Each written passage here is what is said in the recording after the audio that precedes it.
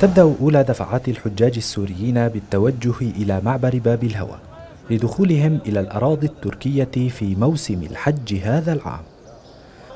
الحاج محمود وصل إلى كراج الانطلاق مع عائلته ضمن مجموعات يتم توزيع الحجاج عليها لسهولة تسييرهم وإنهاء ترتيبات سفرهم إلى مكة المكرمة عبر الأراضي التركية. هلا إن شاء الله من هون من المعبر السوري إلى المعبر التركي وإن شاء الله إذا ربنا سبحانه وتعالى يسر وفتنا نقضي في الفندق هونيك كم نهار إن شاء الله ولل 25 شهر طيارتنا بإذن الله تعالى. تخضع الحقائب التي يحملها الحجاج إلى إجراءات التفتيش عن طريق أجهزة حديثة ومتطورة تستعملها إدارة المعبر حفاظا على سلامة الحجاج المسافرين. يرافقهم مشرفون وإداريون لتوجيههم وتسهيل إجراءات سفرهم.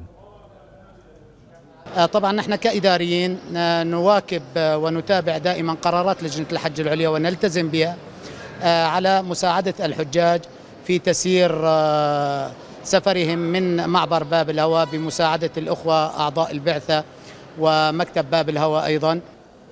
في مكتب الحج يعمل عدد من الموظفين والإداريين. للتأكد من بيانات الحجاج وجوازات سفرهم وأوراقهم الرسمية لتسهيل مرورهم في الجانب التركي.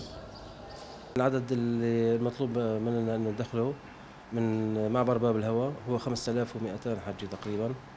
أه بدأنا بالله الحمد أه من يوم أمس أه تم دخول 550 حاج إلى الأراضي التركية. أعداد كبيرة من الحجاج تتوافد يوميا إلى معبر باب الهوى الذي تعمل إدارته على تقديم التسهيلات والخدمات إلى الحجاج من نقل مجاني من خلال حافلات مخصصة لهذا الغرض.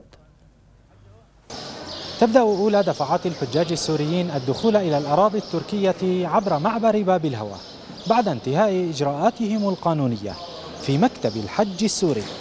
أحمد عاصي تلفزيون سوريا. من معبر باب الهوى في ريف إدلب.